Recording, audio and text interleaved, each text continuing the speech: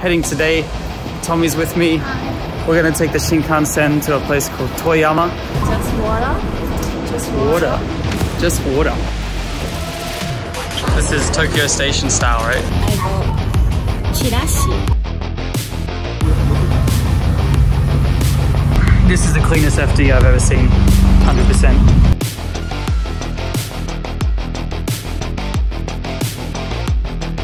Time to do a drive check now. All right, so let's give it a little bit of a check in this corner.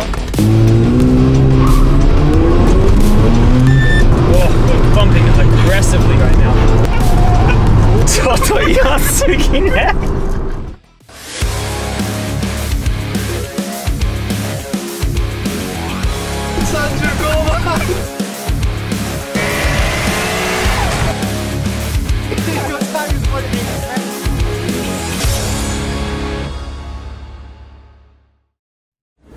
Hey guys, welcome back to the channel. Uh, today, a little bit of a vlog style for you guys. Uh, we're doing something a little bit different, which we haven't done on the channel for a while. Uh, we're gonna go and see a car that we might be purchasing for a, a fun project, basically. So I'm heading today. Tommy's with me, and uh, we're gonna take the Shinkansen to a place called Toyama. Uh, it's pretty far, it's like a three hour trip one way. So it's gonna take us the whole day and uh, bring you guys along and uh, you can check out the car with us. And if we end up buying this car, it's gonna be like a build on the channel. So really hope we can uh, get it. Hopefully we, you know, go and see it and it looks as good as we hope it will. So yeah, I'll take you guys with us. Let's go. So we're at uh, Shinkiba Station now, and uh, we're gonna head to Tokyo Station so we can grab the Shinkansen. So we have some vending machine snacks here. What are you gonna get? Vending machine. Just water. Just water. Water. Just water. Okay.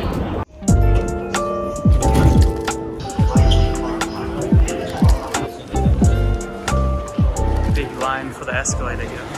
This is Tokyo Station style, right? Yeah. Yeah. So still walking through the station right now. Tokyo Station's quite big, so it's about 10 minutes from the regular train uh, platform to walk over to the bullet train side. So still going through all of those uh, travelators right now. So we'll be there soon. We just got off the escalator and I swear I saw an advertisement on here for the Fuji 24 hour race. So just gonna wait a sec and uh, hopefully it comes back up. Oh, it's here, it's here. 24 hour race. There it is. Fuji 24 hour. Coming in two months. So we're here in Tokyo Station. Here is the Shinkansen. So we made it on the train. Got my food here. This is a Korean chijimi, apparently. What do you have? I got Chirashi. Chirashi. So mix of different sushi, huh? Yeah. Nice. And then with the mentaiko. Spicy. Mentaiko. There we go. Good mix of food there. Yay. Hmm. And I got this is basically like Korean pancake or something, right? Yeah, chijimi. Chijimi, yeah. Nice. So we are ready to leave on the Shinkansen. Yay!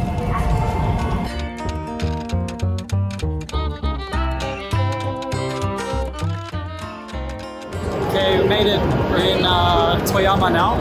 So three hours on the Shinkansen. Uh, it's quite cold here actually. So good thing I got the jacket. How'd you Cold. Tommy's cold. you want this jacket? All right, let's go see the car.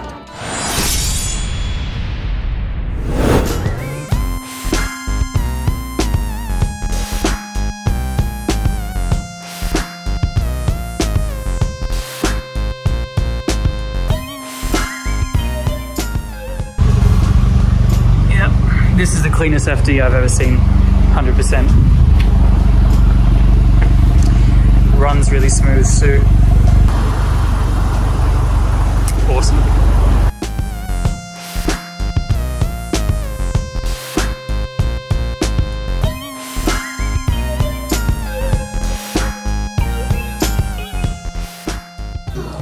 So inside also looks pretty good. Very, very minimal surface rust. I assume this is like a strut bar that came with the Bathurst R's and uh, everything looks to be stock as far as I can tell.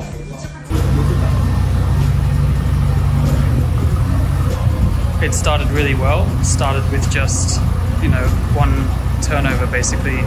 Uh, so seems to be in good health.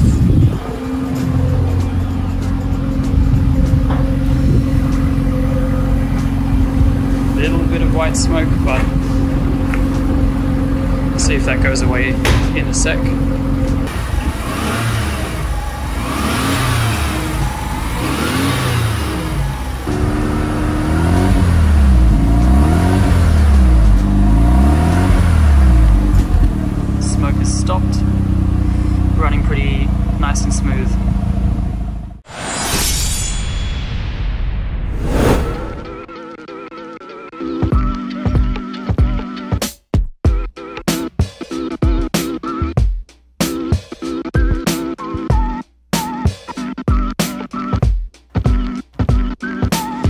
Like a C2 Corvette or something this thing. So old style Corvette, but very modern interior. It's uh, certainly an interesting brand, this company. Behind me here is uh, Mitsuoka, which is a Japanese car brand, and uh, they make a few different things. They have this kind of like old funky looking style. This one which is kind of looks like a, an American styled car so uh, very interesting. I believe they make them off the Toyota platforms and only available in Japan so very very interesting. So guys that concludes our uh, trip out to see the RX-7. I uh, hope you guys enjoyed it and got to see a little bit of an interesting car but of course also uh, you know the trains and the Shinkansens in Japan. So back at Toyama station now about to head to Tokyo uh, about three hours again the other way. So it's going to be well and truly evening and dark by the time we get home. Um, but yeah thanks again for coming along and I'll see you guys in the next one and hopefully we have some updates about what happens with this car. So catch you guys then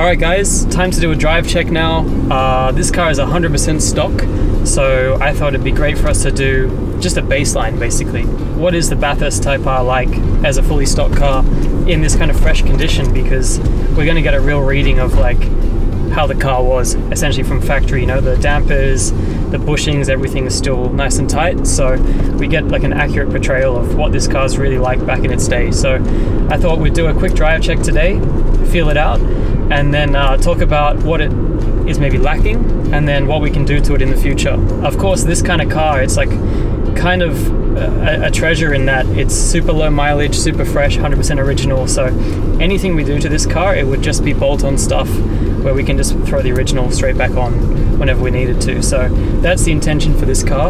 Um, have it in a spot where we can just kind of up, upgrade a few areas just to give it sort of a bit more performance and a bit more fun. Enjoy the process, but take it you know back to original whenever we need to. So let's go. Let's do a drive check and see how this thing goes.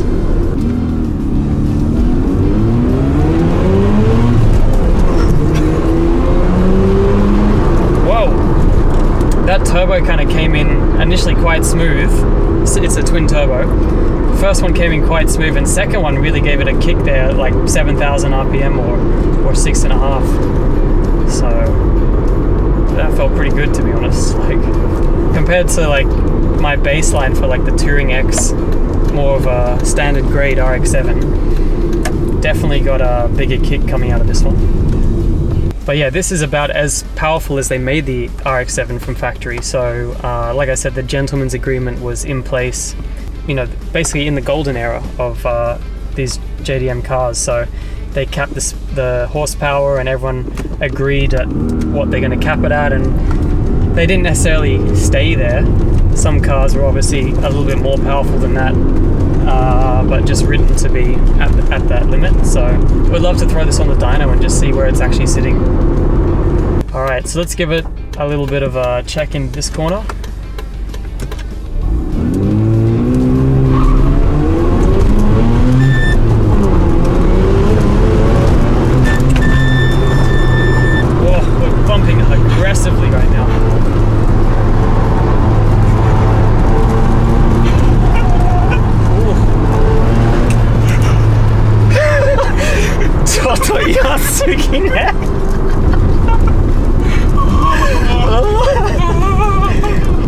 Got a good read after that. So, what occurred there was. I mean, I'm sure the camera just showed it all to be honest. We were bouncing really aggressive on the entry there. I actually backed off a little bit because I didn't want to enter with a whole bunch of uh, unsettlement in the car. Then we entered the corner, and initially the turn in was quite good, but around the halfway point, we felt some oversteer come in. It's not bad for stock, to be honest. Like these are four year old tires. Obviously, the suspension's got, yeah, 20,000 Ks on them. I think there's a bit of a lack of grip in the tire, for one. A little bit of a bumpy surface there. Um, but overall, not bad. Uh, I think we'll definitely benefit from a bit more stiffness in the front just to get more angle on the initial turn. Then we're not sort of having to deal with so much lock and body roll at the halfway point, which is a bit of a problem which we just experienced. But uh, 楽しかったね. yeah, that, that was that was fucking fun. Like seriously.